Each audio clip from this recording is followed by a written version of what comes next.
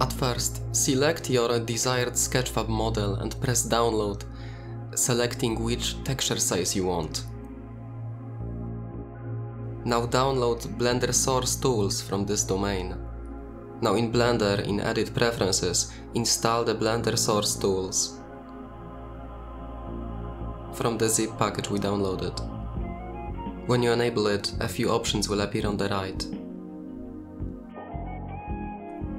Now in Blender, File, Import, add either a GLB or an OBJ file, depending on our choice earlier.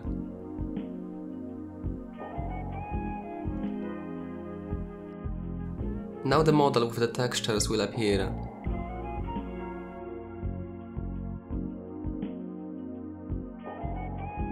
Now in the hierarchy on the right we can see that it's split into many different segments, so we should select them all and press Ctrl J to join them. Now, I recommend cleaning up this hierarchy. Let's begin with Romanesco, then for the child Romanesco.1, then for the triangle Romanesco slash root, then for this just Romanesco, and for this Romanesco slash texture. Now create a collection, and also named Romanesco, and now it's cleaned up.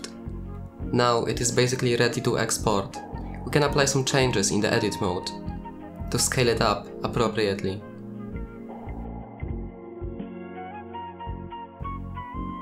Or we can go into the sculpt mode and apply some random changes.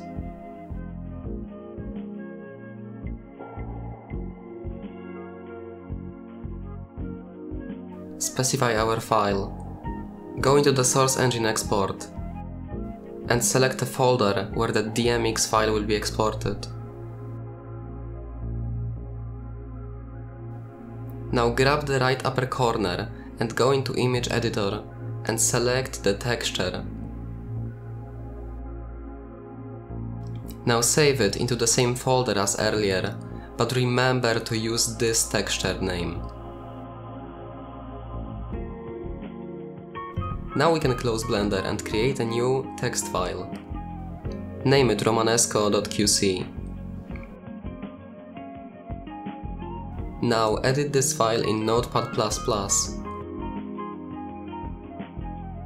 This command relates to the user mod models folder directory. This command is important if later the textures are opaque but we want them to drop shadows. This command specifies the name of the DMX file we exported from Blender. This command specifies how it's shown in SFM. And this command line specifies the materials folder. Keep this one in mind. Now we need to create this folder. In user mod materials models.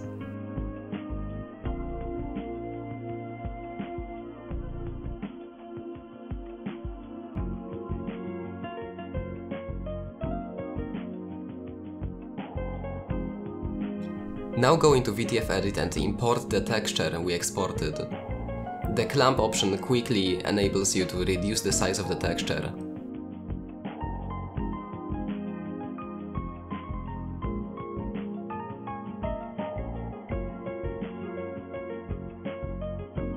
Now grab the textures folder and save this in that folder using the Romanesco texture name. We have created a VTF file, but now we need to create a VMT file and use the vertex generic option.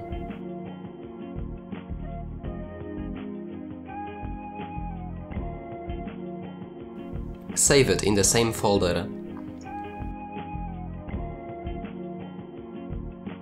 Now open the QC file in Crowbar and compile it.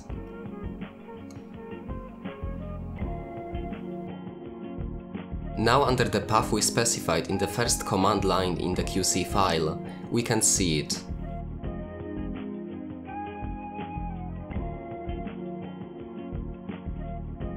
Now open the folder we specified in the last command line of the QC file.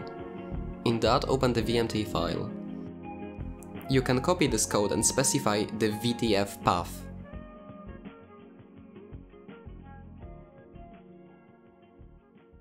In the console type mat slash reload all materials. This will reload all the materials. You can apply many more effects and you can see it on the sfm.wiki.